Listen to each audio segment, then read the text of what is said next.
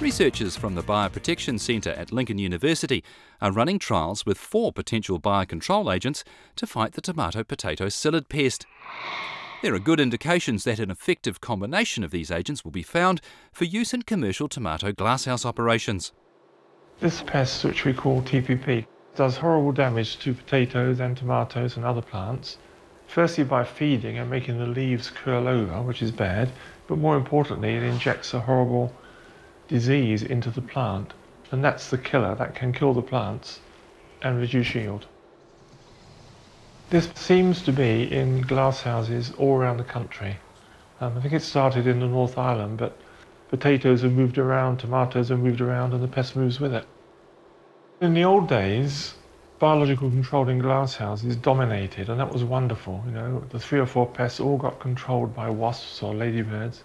But now, this horrible thing has come in, and it doesn't have anything to eat it yet, so pesticides are being used. And unfortunately, those pesticides mess up the previous biocontrol agents, so we're sort of slipping backwards 50 years or something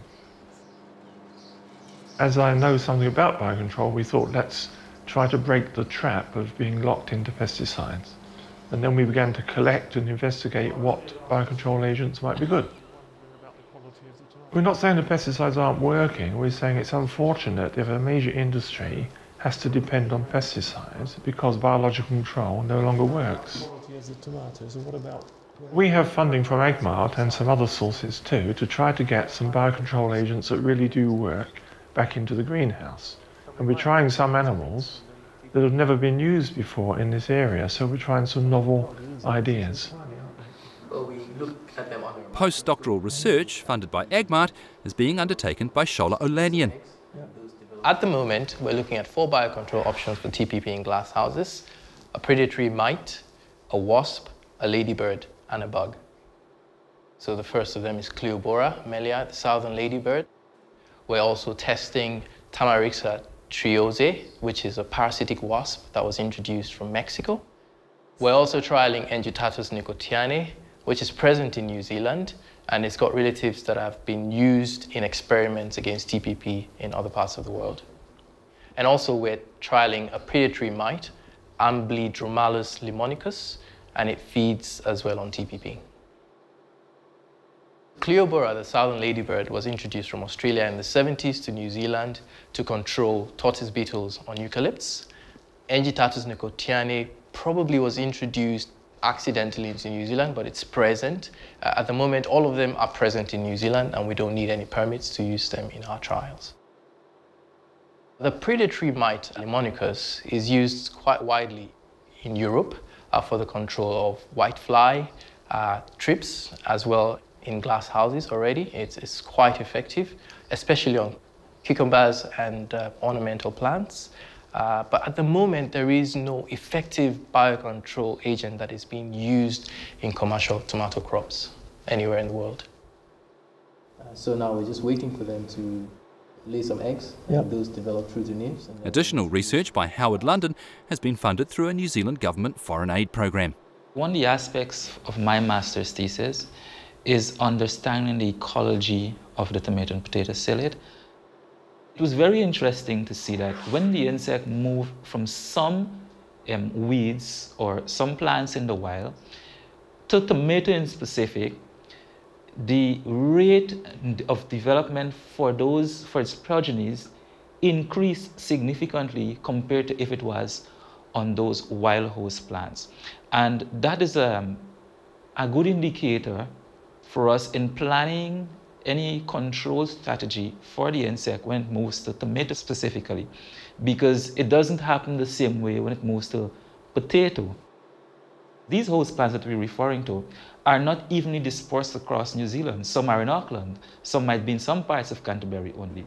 So understanding how the insect operates on these specific host plants in these specific zone would give you a better idea on how fast the insect can adapt to the crop in these specific areas where these host plants are found.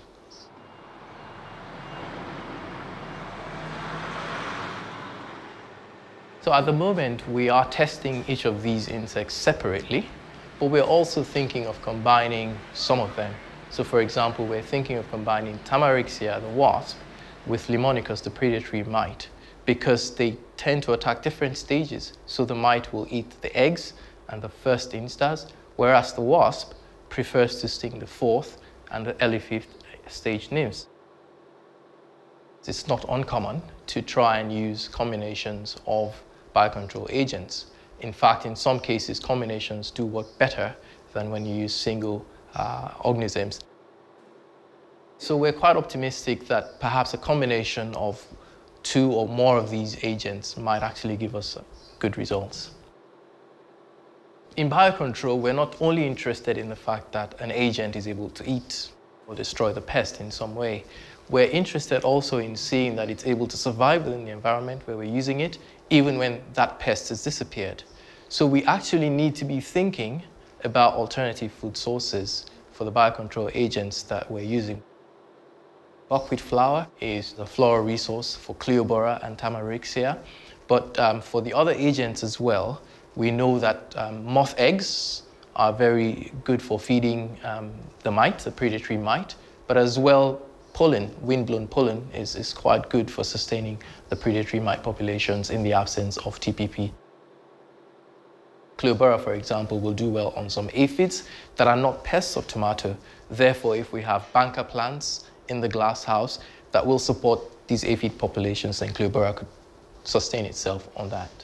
Engytatus nicotianae can survive on tomatoes in the absence of TPP. So because it's a zoophytophagous insect, it feeds on both plants and insects. So it would do quite well on tomatoes. And we've observed here in our own trials that it would actually reproduce on tomato plants and tobacco plants as well.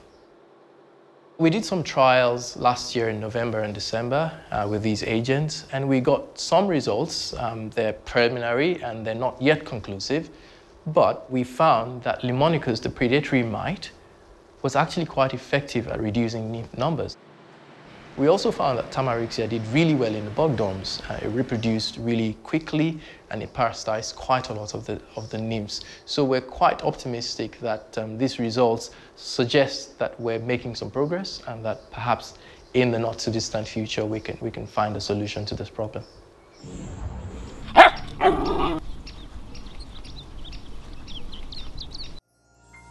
This program was made with funding from New Zealand On Air.